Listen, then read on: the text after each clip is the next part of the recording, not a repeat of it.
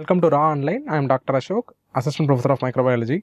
So today we are going to learn one of the most uh, important infection which is going to affect our central nervous system, which is the acute bacterial meningitis. So you all know like uh, what is what do you mean by the term itis? So any inflammation, it is going to be the itis. So here there is going to be the inflammation of the leptomeninges, which is called as the meningitis. So the etiology is going to be the bacterial here. So depending upon the etiology, like we will be classifying the particular thing into various etiological thing. Example, if any meningitis which is occurring due to the Mycobacterium tuberculosis, it is going to be the tuberculosis meningitis. In case if it is going to be due to viral origin, it is going to be something called as viral meningitis.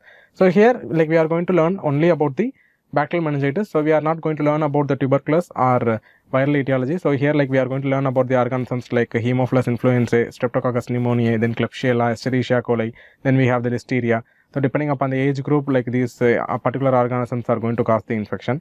So depending upon the periodicity, like we call it as an acute or chronic. If it is going to be a long-term meningitis, so it is going to be the chronic. In case if it is going to be an acute duration, it is going to be the acute bacterial meningitis. So let us go into our topic. So today we are going to study about the acute bacterial meningitis. So before going into the topic, like we just want to learn what is the definition of this particular thing. So meningitis, it is nothing but the inflammation of leptomeninges. So leptomeninges is nothing but what? So leptomeninges again, it is going to get comprises of three layer. One is going to be the arachnoid mater, and one is going to be the pia and in between that there is going to be something called subarachnoid space. So these three we call it as leptomeninges. So any inflammation which is going to happen in this particular thing, like we will be calling them as leptomeningeal inflammation, which is nothing but the meningitis. So let us go into the predisposing factor. So there are various predisposing factors. These seven are very important. So the first thing is going to be the age group. So the neonates are actually like more prone for this kind of invasive infection. So the reason why the neonates are more prone is that they are going to be like having uh, less amount of cell mediated immunity and also the humoral immunity is also going to be very less in case of neonatal population. So these population are more prone for this kind of invasive infection like meningitis again like poor vaccination status. Like uh, according to our immunization schedule like we are giving a good amount of uh, vaccination. So again like this vaccination is going to produce a certain amount of immunity. Again like they are not going to get any infection due to the immunity which is provided by the vaccine. But here what is going to happen is that certain thing like socioeconomic status which may be low and uh, other uh, thing like which may contribute for the poor vaccination. So the child may not get the proper vaccination or immunization. So those kind of children they will be having less amount of cell mediated immunity which is going to be there due to the vaccination. So here again they are more prone for infection like streptococcus pneumoniae or haemophilus influenzae infection. So which is actually a vaccine preventable infection. And these are the pathogen which is going to cause infections like pneumonia and meningitis. And third thing is going to be the poor lifestyle. So poor lifestyle the patient could be an alcoholic or a smoker again like you all know like when we are going to get expose ourselves to cigarette smoking and smoking automatically both our humoral immunity and cell mediated immune response is going to get hampered. So any this kind of uh, lifestyle habit is going to put us into a high risk of invasive infection like this kind of meningitis. And the fourth thing is going to be the post transplantation immunosuppression. So what do you mean by the term post transplantation immunosuppression?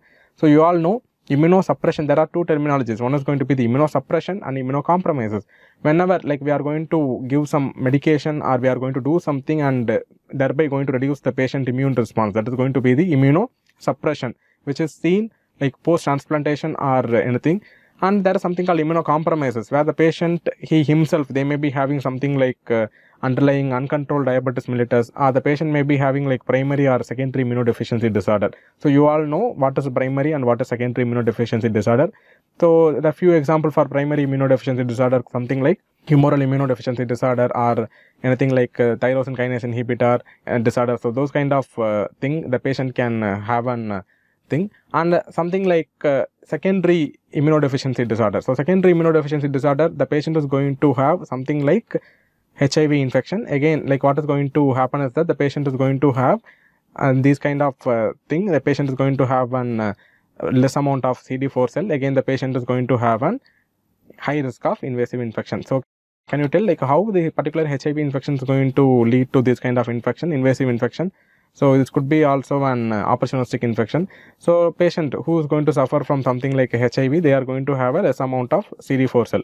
So you all know CD4 cell is the main cell which is going to act as a regulator cell which is going to tell the particular cell to do what function like it is a particular regulator cell which is going to tell the neutrophil to go and act against the particular bacteria or eosinophil to go and act against the parasite so when the particular cd4 cell is going to get destroyed the entire immune system drops down. So here again the patient is going to have high rate of opportunistic infection. So one of the opportunistic infection could be this kind of invasive infection like meningitis. And post transplantation immunosuppression what is going to happen is that the patient is going to undergo something like a liver failure or any failure. So the patient example like we can take a case of liver failure. So what is going to happen is that we, we are going to go for procedure like transplantation. So we are going to replace the patient's diseased liver with the another recipient uh, donor liver. So what is going to happen is that for the prevention of graft rejection and graft acceptance, what we are going to do is that we are going to put the patient on drug like immunosuppressive drug. Example can be like cyclosporin or tacrolimus, like we are going to put the patient. So what is going to happen is that due to this kind of drug, the patient's immune system is going to go down. So again, when the immune system is going to go down, both cell-mediated immunity and humoral immunity is going to come down and the patient has the high chance of opportunistic infection, especially this kind of systemic invasive infection. And fifth thing is going to be the splenectomy. So you all know like spleen is the main organ which is going to take care of capsulated organism. So when again like when there is no spleen, patient may be having something like thalassemia for which the patient would have undergone something like prophylactic splenectomy.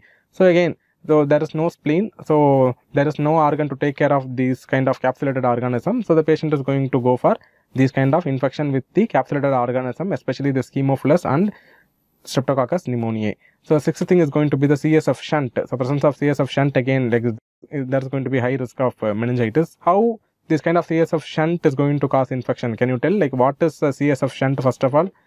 When some babies or some uh, abnormalities are there like anything like hydrocephalus is there so what is going to happen is that we are going to do some surgery and we are going to do some shunting procedure where we are going to connect especially like we are going to place a tube in between the ventricle and the we are going to connect the particular tube opening to the abdomen or like GI tract. So what is going to happen is that there is going to be opening, right? So with the help of that opening, that particular organism is going to ascend through the tube and going to reach the ventricle. There it is going to cause the infection and it is the CSF shunt associated infection. Again, the patient can have severe form of meningitis due to the presence of this infected CSF shunt. And the seventh is going to be the problem with blood-brain barrier. So any breach in the blood-brain barrier, example, there can be like a trauma or road traffic accident. So there is going to be a breach in blood-brain barrier. Again, the organisms can easily go to the blood and from the blood, it can easily go to the brain and can cause the infection. And not only brain, like it is going to reach the central nervous system easily, like and thereby it is going to cause the various forms of infection. So now with this predisposing factor, keeping we know like what are the various predisposing factor like which is going to predispose us to the acute